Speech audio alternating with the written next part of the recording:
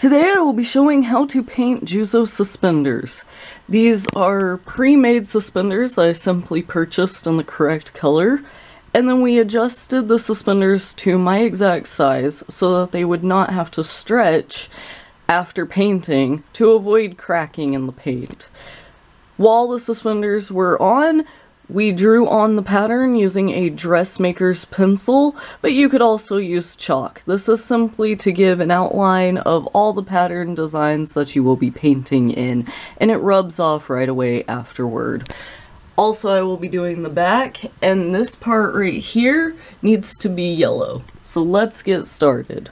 First step is to make a base coat of just solid white and then add your color on top of that. This prevents it from looking streaky and it makes the colors stand out and be more vibrant and also not have to use so many coats of paint. I have my essentially chemical that turns your acrylic paint into fabric paint, and this can be found at most craft stores. And then I have just regular white acrylic. I'm going to mix these together. It really does not take much of this. I'd say maybe one or two drops in a about a quarter size of this. It doesn't take too much by any means. Actually, I could use more than a quarter size, and still two drops would probably be perfectly fine. On this area though, I'm not so sure how it's going to take it because if you'll see, it's kind of a faux leather almost, so that's going to be a little more difficult to paint. So I might actually have to use a little bit more of this just to kind of get it to the right consistency and hopefully make it less chippy. But we will see in time with that.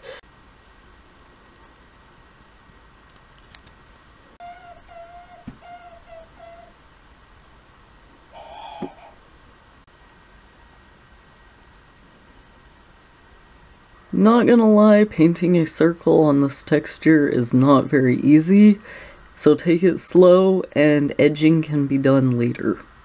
The start of the base coats are on. I did make a slight oops and did these incorrectly, so I will have to wait until I paint these yellow to then start to paint these, otherwise I'm going to have the base coat all within my lines, and I won't know where my lines are, so that was a little error on my behalf. I should have done this instead and waited to do the yellow base coat, but we're learning as we go. Also, as I suspected, this is going to be a little more difficult to paint. It rubbed right off, so I will have to find a different method. Now on to the yellow paint, and I did add just a little bit of this stuff just to make sure that it will stay on the fabric. I know I have it inside of the white, but I just want to make absolute certain that this isn't going to crusty flake off of my suspenders while I wear them, because that would be bad. I am going a little past the seam line where this part is going to just hold snugly, but I wanted to make absolute certain that in case this pulls or tugs in any weird direction, that you'll still be seeing yellow.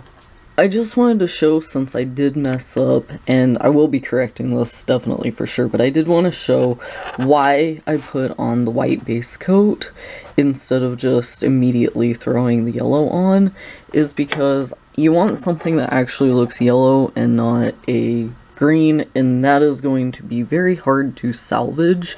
What I am going to do is I'm going to paint in the blue dot, because there should be a blue dot there, and I decided to do that instead. I don't know, that was my own error, but I decided to go over it all just to show what it would look like comparatively. And if you'll note, even with a second coat, this isn't going to give a very great look. It's still going to have some green behind it.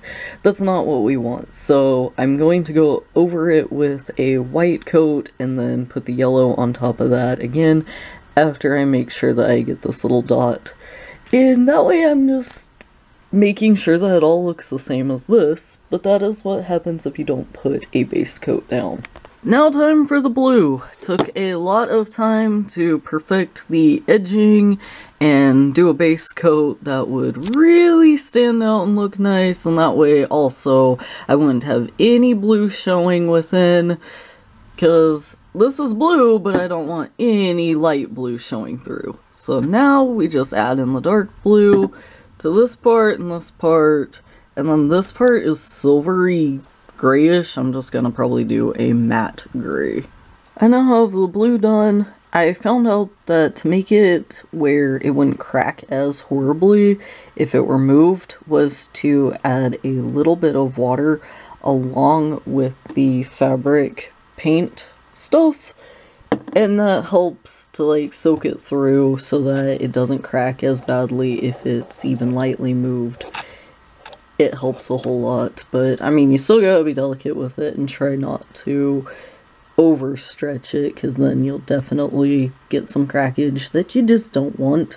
But it does help to kind of get it down into there. This one I'll definitely need to add a white base coat to, but I'll first have to fill in the circle, otherwise I'll lose it and I'll have no idea where it is because that's really close. Now I need to fill the circles in with gray. I also am having a whole lot of problem with the edging on this one. So I've decided to get a blue that matches perfectly to the suspenders themselves and I'm just going to fill in the diamonds and correct them using the exact same blue as the suspenders. This part is definitely giving me a fit to paint. It just washes off immediately and rubs off and flakes off just so quickly. So instead of trying to paint it, I'm gonna put fabric on it I'm just to cut it to the shape that it is and stitch it right where it already is. And that'll cover that part. And there you have it. That is how to paint Juuzou suspenders.